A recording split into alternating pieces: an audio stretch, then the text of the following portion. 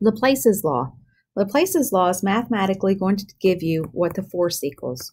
The force on a blood vessel wall equals the diameter times the pressure. The force against a blood vessel wall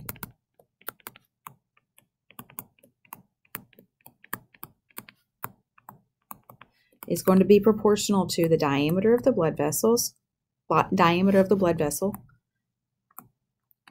times the pressure of the blood in the blood vessel. So let's look at a regular blood vessel. Here it is. And we want to, I'm going to get a smaller arrow here. We're going to have a blood pressure pushing on the wall of the blood vessel and that is going to maintain the shape of the blood vessel and allow it to stay open.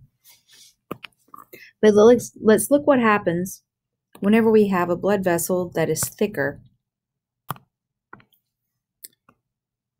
Not thicker, I was trying to get a thicker pen. Um, we're going to have the same blood vessel, so you see we start out with the same diameter, but this blood vessel wall here is a little bit weakened, and so we're going to have an enlarged area in the blood vessel. Because of this enlarged area, it increases the diameter, right?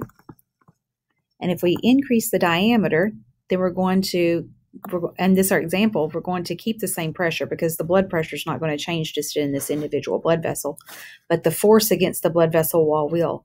So if we want to draw the arrows for the force, then we're going to draw the same size arrows as we have over here in our first picture. But whenever we get to this um, area of larger diameter, the force is going to be greater. The reason that this has a bulge in it in the first place is because it's a weakened area of the blood vessel.